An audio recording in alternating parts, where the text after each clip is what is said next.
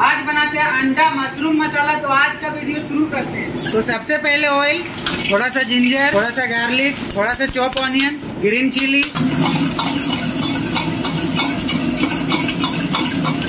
अब डाल देंगे चॉप टमाटो थोड़ा सा काजू पेस्ट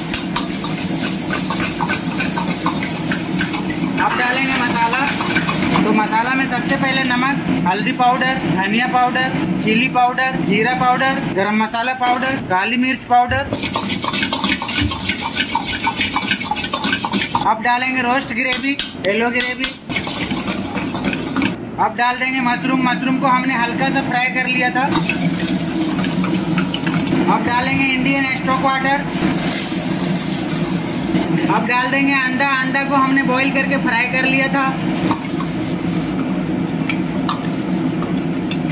थोड़ा सा धनिया पत्ता डाल देंगे। साथ में थोड़ा सा रोगन मिक्स कर लेंगे। और ये हमारा बन के रेडी हो चुका है। अब चलो पिकअप कर देते हैं।